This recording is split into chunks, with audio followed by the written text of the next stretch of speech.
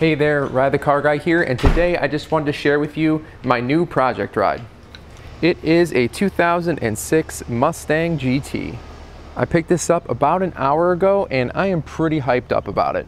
I've been wanting to pick something up that I could modify, and so I figured uh, what better than a muscle car. Again, it's the 06, so it has the 4.6 liter V8, and it is incredibly clean. Take a look at this. Not only is it super clean, but it is completely stock. I mean, look at it, it even has a regular air box in it. Have you ever seen an S197 without a cold air intake in it yet? So I was pretty excited to find out that this was a one owner car.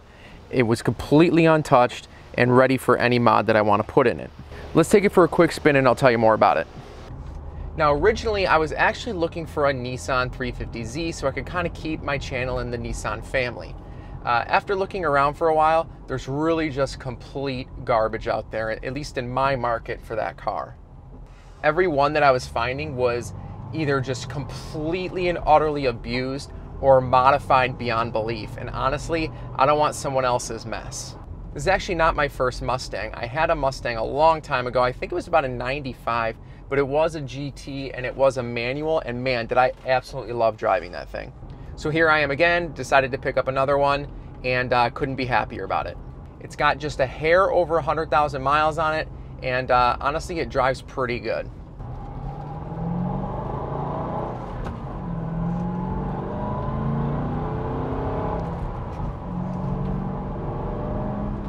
Now again, what I loved about this one is that it's been completely untouched. It is bone stock, which means I get to do everything that I want to it without having to reverse someone else's mods. Speaking of mods, I'm gonna keep this naturally aspirated, so that means basically no super or turbochargers, and I just kinda wanna see how much power I can get out of it uh, without doing any of that boosting. I didn't spend a whole lot on this car, so I don't really wanna go get a four, five, six thousand dollar boost kit for it when uh, I barely paid more than that to buy it. I do, however, have an absolute laundry list of things I do want to do to it, and I want to share all of that with you guys. That's going to include everything from, of course, the upgrade videos that I want to do, but also all the general maintenance that this car very desperately needs. Oh, also a shout out to Honest Autos. They're not a sponsor. However, they treated me really well and I would definitely do business with them again. So if you're in the Central Florida area, check them out.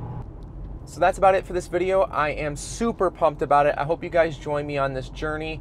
If you liked this video, please hit like. If you want more content like this, definitely subscribe, and I will see you guys in the next one.